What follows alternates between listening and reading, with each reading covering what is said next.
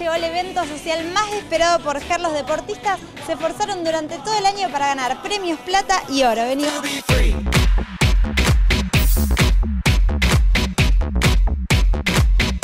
Este es el momento más esperado por nosotros. Eh, esta es la novena edición. Eh, hoy se premia y se reconoce a los deportistas más destacados de cada disciplina. Es el día a día, el trabajo de siempre, el trabajo de los entrenadores, el trabajo de los chicos, el frío, el calor, el esfuerzo. Y llega este momento que es el momento que hay que festejar.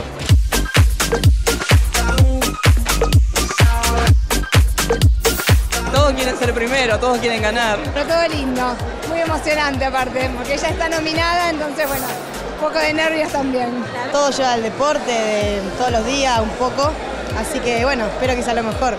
Nos fue bien y en Rosario vamos segundo, así que tenemos chance todavía. Tengo fe, todavía tengo fe.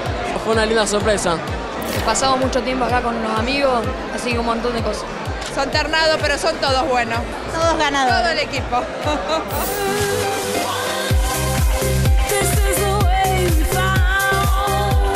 La verdad que se esforzaron bastante, les fue muy bien en los torneos a todas. ¿Cómo se cuida una gimnasta deportiva? Tenemos una dieta que es para mantener el estado. No salir tanto de noche. Sí, también. Puede ser. ¿Dejaron de salir un poquito para ganar estos premios? Pues no sé, tanto no, pero bueno, todos acá se esfuerzan mucho y pelean por la camiseta.